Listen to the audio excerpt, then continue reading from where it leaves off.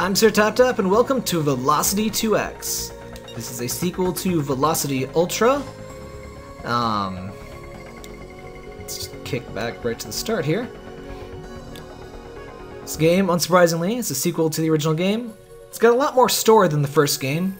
Um, you can skip all the story if you don't want to watch it, so don't worry too much. Bye, Parker. Um, so yeah, this game does have spoilers for the end of the first game. Um, the first game's plot isn't very significant, but uh, whatever. You remember things. The um, the game originally puts you through some tutorials here, and you know, um, I actually really like how the game does tutorials. It basically just has real levels that start out very basic, and you basically learn a couple of mechanics per level. Um, this one's completely brain dead simple because, you know, it's the very first level.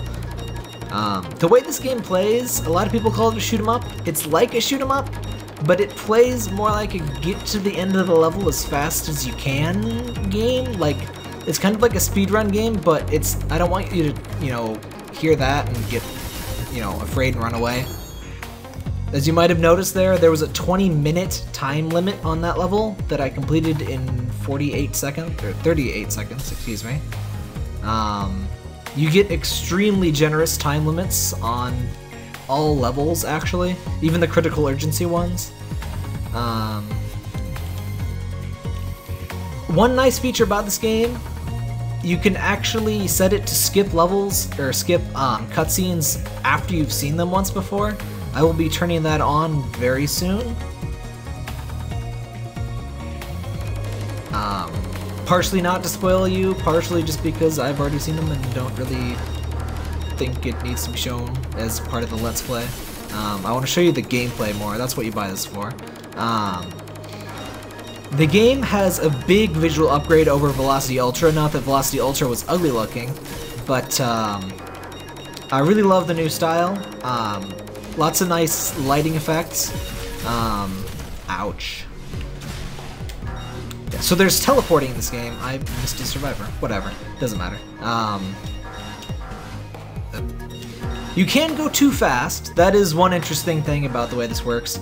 Um, the game is constantly scrolling forward, generally at a lethargic pace, but you can boost to, you know, speed up that scrolling. And since, you know, it's about going fast, you want to do that as much as possible to get as good, you know, score and time as possible. As you can see there, I didn't quite, I got a perfect, but I didn't, you know, rescue everyone. Um, oh right, I meant to turn on skipping cutscenes. The game actually has great options. I will show you those after this level. So, the game can be played pretty much entirely in a state of flow where, you know, you just react to stuff. I really like that. To get optimal speed, you need to plan out your movements beforehand. You know, if you're gonna do a speed game, there's basically two parts the way you think of it. Um, there's routing and then there's execution. Um, what I like about this game is you can play it without knowing the route and you know just react on instinct. You're probably not going to get perfect times and you know full rescues each you know the first time, but it plays straight through like a normal game, and I find that very enjoyable. And then you can go in and you know get into the um, hardcore. We're gonna you know optimize every level mindset. Um, so the options let you skip the viewed cutscenes, skip viewed tutorials. Lots of games don't do that, and it's very annoying. Um, you can disable L to move if you really want to use the D-pad. Um, invert your telepod throw if you're one of those inverted people. Um, one negative mark to this game, its cross-save is not automatic. Oh, this game is cross-buy for PS4 and PS Vita. Um, it looks and plays great on Vita, um, but the cross-save, you have to manually upload to the cross-save. It's pretty painless, see, but uh, it's not automatic. Uh, I really prefer automatic cross save. Um, it automatically attempts to download and you know gives you the option to download it or not. Um, it automatically prompts you basically, but it does not automatically upload. And in my opinion, it should be the other way around. You know, like if I want to play on my Vita, I probably am not able to get to my PS4. You know, but Like, uh, for instance, Doki Doki Universe and Fez do the cross save thing very perfectly. Um, and my favorite method is Hohokum, which is just completely 100% automatic. Um, like, in games like this where progress is entirely linear, I don't know why you would want an old save. It should just have, like, you know, a universal, like, clear save feature, but whatever. It's not a major point problem, but it's something you want to be aware of. Um, while I was gabbing, I forgot to mention, so biggest upgrade of this game versus Velocity Ultra are the platforming sections that I need to stop using that teledash. That teledash is faster than running, but it can get you killed in the wrong spots, which is why I shouldn't be using it like an idiot, but I am. Um, so, yeah, the platforming sections, as you might have noticed, you still get a pretty good sense of speed. I know a lot of people were worried, ow. Um, you don't have to teledash through the whole thing. I'm being kind of stupid. But, uh, yeah, the, the platforming sections absolutely maintain the sense of speed, um, and they are integrated into the main game. I believe this is the first level that does so. They're integrated into the side-scrolling shooter part of the game. Oh, right. You have this um, 360 degree arm cannon, which is pretty sweet. Um, and in addition to survivors, you have to collect these crystals in this game to get, you know, 100%. Um, an extra challenge to be fast is, you know, grab all these crystals. Crystals are only in the out-of-ship segment, you know, out-of-ship platformer segments. Um, survivors are only in the shoot 'em up in-ship segments. Um, if you've played uh, Mighty Switch Force, this game plays a lot like that at a meta level. It's very, you know, it's about going fast, but it's actually fast-paced, where Mighty Switch Force actually fairly slow-paced, but it's just about optimizing movement. This game is much faster-paced, and of course it has the top-down, you know, side-scrolling shooterness to it. Okay, this part, this is the first one where you have the ship and the platforming segment. Um, I absolutely love the art style of this game. It's a big upgrade. Did I mention this? Whatever. I'll mention it again then. Um, just very good looking. I love the explosion effects are really great. They had a, a blog post. They had several blog posts on the visual design and uh, some on the gameplay design of this game. Um, but they really like their lens flares. Um, did I get that last survivor? But um, I think it all looks really good. Um, there is not, I was worried the Vita version would not look as good. It basically looks the same, but at a lower resolution. Pretty sure it's 60 frames per second. Um, to double check on that. Pretty sure it does. Um, um, lost my train of thought. Yeah, I really love the look of it. Definitely an improvement over the first game. Um, Alright, this game, when it comes out, is going to immediately be in the um, Instant Games collection for uh, PS Plus.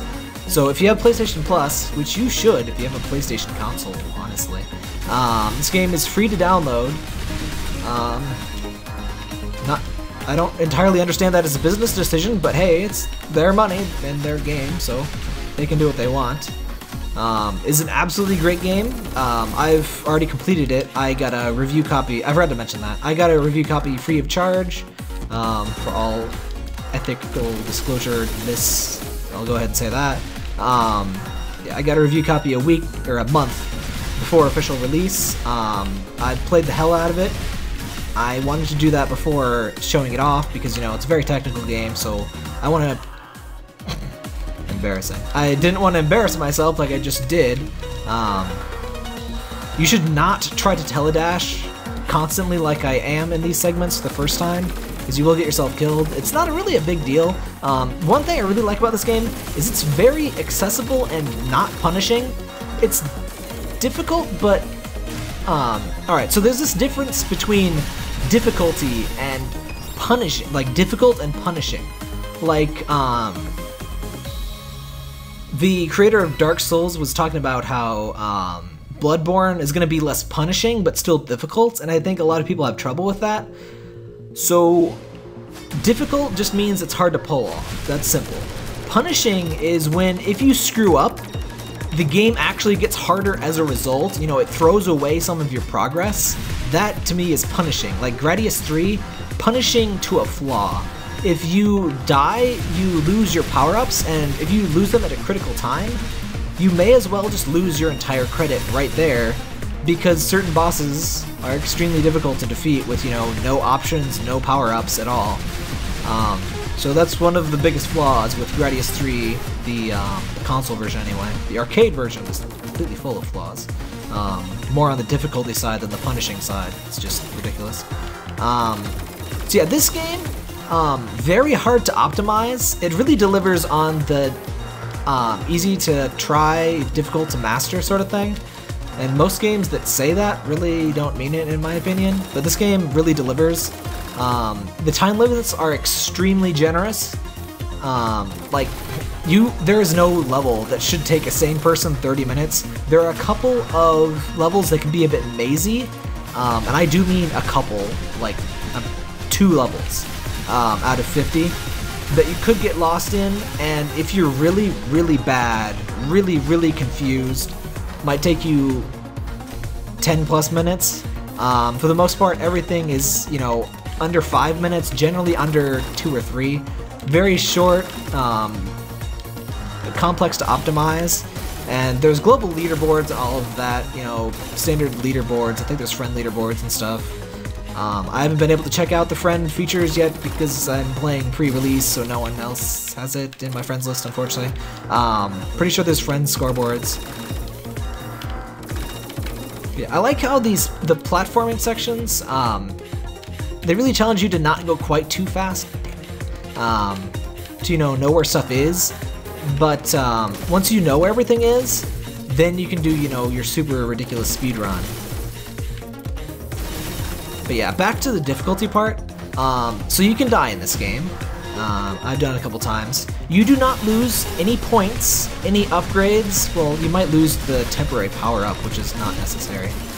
Um, I haven't even been showing that off. I've, you know, this triple shot here is a temporary upgrade. Um, they're not very important at all, honestly. I'm entirely sure why they exist. Um, they're a very slight improvement. Um, there are some platformer upgrades, I think, that are actually useful later on. I'm not sure we'll see those. Um, show you something a little special here. But yeah, dying, the checkpoints are very frequent. You do not lose extra time, you just lose the time it takes to die and respawn. Respawns are almost instant. Um, so yeah, it's very not punishing. And I find that is a very good feature of a game like this. It keeps it accessible without making it easy. Um, I don't want the game to be easy. Um, I want it to be not punishing. I want it to be, you know, accessible in a good way. So, another, in addition to the platform levels, a big change from the first game is this game has boss fights. Um, Velocity was never a traditional shoot 'em up in that enemies are the primary source of difficulty. Um, in this game, you know, speed is the main sense of difficulty. Um, and so it's routing and execution that are the difficult parts, and so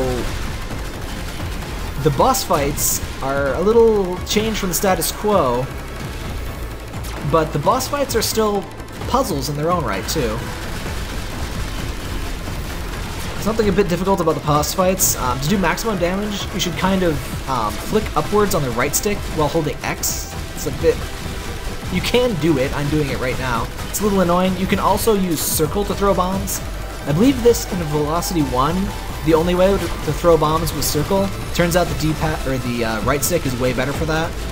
Um, so Velocity Ultra was a big upgrade in terms of controls. This game is an even bigger one, um, particularly in the long-range teleport sections, which I'll show you off right now.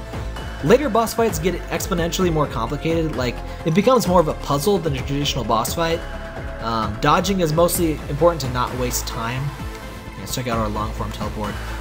The long-form teleport levels were my least favorite in the first game. They have drastically improved on the formula. So what long form teleport is, is you drop off, well let's wait for the actual point we're supposed to do it. You press triangle to drop that little teleport thing there. Um, it will also tell you when you should drop off a telepod. Um, it'll have that little blue thing and the, you know, the little sound. Um, the in the first game, the only way to use the telepods was to access this map and be all slow and lame, and I'm using a map like a loser. But in this game, you can press R2, boop, right back. Or if you're using the PS Vita, you can double tap triangle because you don't have an R2. Um, the game controls impressively well on the PS Vita. In fact, it actually has one feature that the PS4 game really should have. Um, it lets you use the touchscreen to teleport instantly, you know, this short teleport here. Um, which is something the original Velocity had on Vita too. Um, and it's actually really nice for certain levels. Um, not necessary by any means, but I really would appreciate if they could add that as um, in remote play. Um, it's kind of weird that it doesn't. So remote play lets you customize how the Vita is used. So like, um, what's it called? Child of Light has, um, in normal PS4 controls, the touchpad, ouch, touchpad acts as a cursor, like a half-assed mouse. It's not very pleasant to use. Um, but if you play it on Vita, um, you can touch items directly. You know, you have this one-to-one -one direct interaction like you're using an iPhone because, you know, you have a real touchscreen. Um, and if you're using remote play on PS4, you get the best of both worlds because you can play on the PS4 and you can touch directly. Like it's just like the Wii U gamepad, basically. You can touch something on the gamepad to activate it directly. Um, I really wish the remote play on this game did that, but it doesn't. Um, so my main gripes with the game, honestly, are um, that aren't gameplay related. Um, are that the the P the Vita integration could be a bit better. The cross buy is amazing. The actual gameplay is on Vita perfectly, but it doesn't make the best use of cross save or remote play. Um, this is something they probably could patch in post launch. Um, I'm not sure if they plan to or whatever. Um, but it would be really cool if they did because I really do like I do like having that um, touch to teleport, and I was actually missing that. Um, I played the majority of the original trip, the original um, Velocity Ultra on a plane ride from Vegas, which is about three hours, and I beat the majority of the game in that. Um, not sure it was the majority, but it was a pretty sizable bit. So um, I got pretty used to the touch controls, and then I couldn't use them in remote play. Um, so that was a bit of a downer. But the upgraded visuals on PS4 are a very nice touch. Oh, also, anytime you want, you can teleport right back to any of these um, docks, which, you know, the platforming sections. So that's pretty helpful in case you forgot to place a telepod or just you need to go back to one of those and didn't think you would need to. So it's a pretty nice feature. Um, I forgot to mention the whole point of this level uh, are these telepods. Um, uh, we'll get to use one soon enough. Yeah, so you throw, you hold triangle and you throw them, and then you double tap triangle to teleport over to the most recently thrown one. And there are later um, ones where you'll need to drop one, like I just did on accident. You drop one, you know, return to an earlier point, um, they get pretty cool with the level design for these. Um, my biggest problem with the ugh, gameplay is throwing the telepods isn't always absolutely perfect. Like, it'd be nice if it snapped to correct positions, but not like in too cheap of a way. Like, um, I just waste, you know, maybe a second or so fiddling with the R stick to get you know the aim just right. It doesn't sound like much, but it can cost you a best time. Um, it just doesn't feel perfectly accurate because you know you're using a stick to aim it. Oh, one great feature of this game, um, another improvement from Ultra. If you shoot a um, there are those you know those numbered security locks I've been shooting. You have to shoot them in order. But in the first game, if you shot lock 3 after shooting lock 1 instead of shooting lock 2, all of them were to reset if you shot them out of order. Um, this was really frustrating because sometimes it was pretty easy to, you know, if you're firing blind, you could accidentally hit one and reset all the locks and basically ruin your run through. Um, that is no longer possible to do on accident. Or that's no longer possible to do at all. They do not reset. You know, if you hit a higher level one, it doesn't do anything. Um, that is a really nice improvement. Um, so this game is a straight improvement on Velocity um, Ultra in basically every single way. Um, also, you'll notice um, there are multiple environments in this game. The original game did not have multiple environments. It made it look a little cheap. The multiple environments don't really do much. You know, the game, the gameplay naturally evolves as you go on and gets goes from simple to very complex by the end. Um, I'm showing you um, these are pretty much moderate complexity levels. It does get way more complex than this. This is one of those segment segments where you might waste, you know, full second or more trying to throw that telepod. Um, that's what I'm not a fan of. Um, but yeah, the multiple... Uh, what was I saying? The multiple environments really help the game look good, and um, there's a full story now. Not super complicated or anything, but the art for the um, for the story segments, fantastic. I, I love the art style in the game, and I'm really glad they had you know a good way to express that in the story. And if you don't care about the story, you can skip it. So, best of both worlds. Also, when you're you have this circle shot, I haven't been using it. Um, I usually prefer to use the uh, 360 degree arm cannon here. But uh, it's actually very powerful and very useful. Um, certain enemies you basically need to use it against because I think it's stronger. That is a section. Anytime you see these angled things, you're supposed to use one of those telepods. Um, the game does a great job of letting you play in a sense of flow and, you know, just continue on, you know, reacting, acting completely by um, instinct. You know, to get the best times, you're gonna want to replay the level a couple times.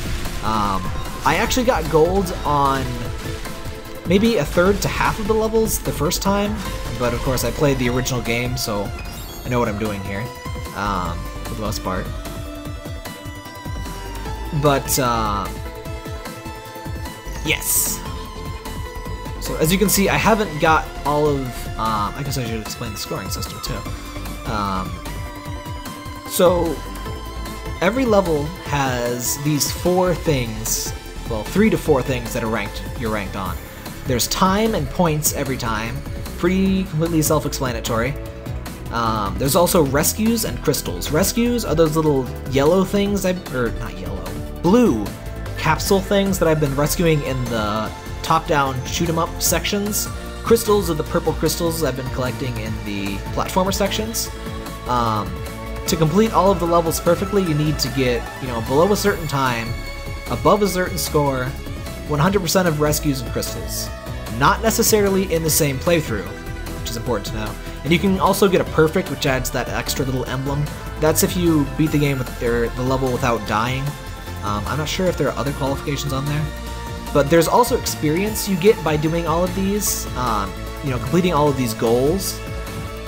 And levels are unlocked as you go um, by the experience. You do not need to complete every level in sequential order. Um, it obviously pays off to play like that because, you know, it explains, you know, the game escalates naturally. So there's few occasions where you'd want to skip a level. Um, certain complicated, what are those, the green ones? Um, certain anything with a long time limit, you might want to skip. Let's show off a pretty cool one though. Um, but yeah, if you don't like a level, you can freaking skip it. Especially if you've done well on previous levels. I actually skipped two levels before beating the game. Um, I really didn't like them. They were more telepod levels. Um, they weren't as bad as I thought. They had a pretty high um, time limit, which discouraged me. Um, it wasn't entirely necessary to take that long, but uh, like if the game gives you 40 minutes to play, it probably takes less than 10. Um, like I said, game not very punishing, very forgiving. It's forgiving. Um, this is one of those more complicated levels, but it's also one of my favorites, which is not something I expect, but it's very bullet helly. Um, like, there's lots of enemies, like bullets to dodge, but uh, bullets don't actually do very much damage to you. Oh, right, um, new gameplay mechanic you haven't seen yet. These jerks, you have to teleport through them to disrupt their shields. Pretty cool. So yeah, there's lots of things that shoot lots of bullets, which is why it's called Bullet Blizzard. Um,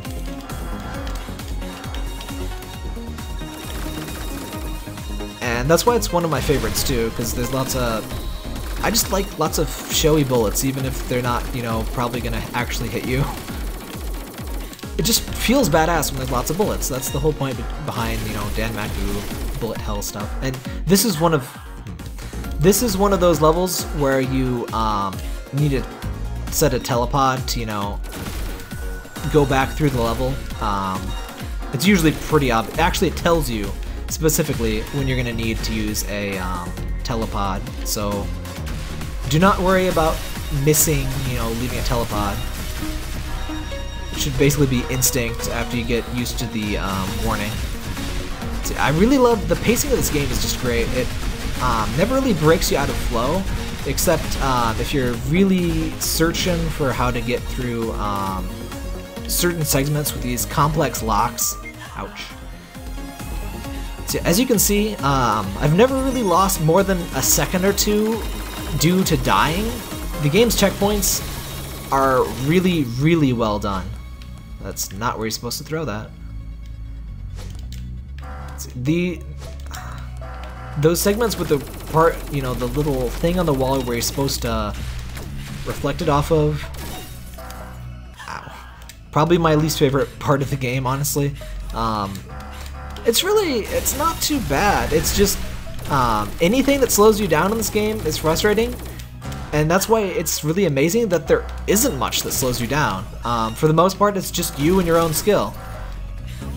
There are just this, these very few moments where um, you need to fine-tune where you throw a telepod. That's really about all there is to it. And you know, normal telepod throws, the basic ones, like I just did, the last throw I did there, um, you know, you can do pretty much entirely on instinct. Uh, should go without saying, I'm playing the PS4 version. Um, ouch. Those boost things, um, well, they, they speed you up, and you should be aware of that. I should have slowed my roll there. You can control how fast the screen scrolls. You can press the R1 button to either dash in these um, side-scrolling sections, or ouch, um, speed up the screen scroll in the normal segments. You know, screen um, the uh, the shoot 'em up segments. And so, if you really wanted to, you could walk through all of the platformer sections. Um, there are only a few jumps you need. Why am I bad at video games? Um, um, you can pretty much walk through the entire game and leisurely stroll through all the shoot 'em up segments and still have time. This, oops, embarrassing mistake to make. Um, this is not the optimal way to play it, the game, of course. It's completely doable. And I'm functioning mostly on instinct, and I'm still managing to capture... Oh wow, time improvement too. Almost all of the stuff. Um, this game plays very good on instinct. Um, as I said before, free on PS Plus. Not sure why they did that, but you really need to take advantage of that and get this game right now, in my opinion. Um, it's 15, I think it's, is it 10 or 15? Actually, I'm not sure if they announced pricing. I have no idea what it costs. The, the price for non-PS Plus members will be in the description and an annotation if I remember. Um, whatever it is, is, is worth it, especially if it's like $15 or under. I highly recommend getting this game, whether you have Plus or not. But if you have, if you don't have Plus, and you have the ability to play this game, which is PS4 and PS Vita only, at least for now. Not sure if um, Velocity Ultra gained to PC. Not sure what the deal is with this game, but if you got a PS4 or a PS Vita, you need to check this out right now. One of my favorite games of this year, honestly. Um, I am not on the leaderboards anymore, unfortunately. And in when we were in the review, Wario 64 likes this apparently. I'm 55, so not too bad considering um, I played the hell out of this the first week, and then I got busy. Um, so I've got all these ugly silvers and bronzes that I need to fix up. But I will get that platinum, I assure you. Um, rambling here. This is Velocity Ultra, or Velocity 2X, not Ultra. Um, I highly recommend you check it out. Very good game. I'm Sir Tap Tap. Thank you for watching.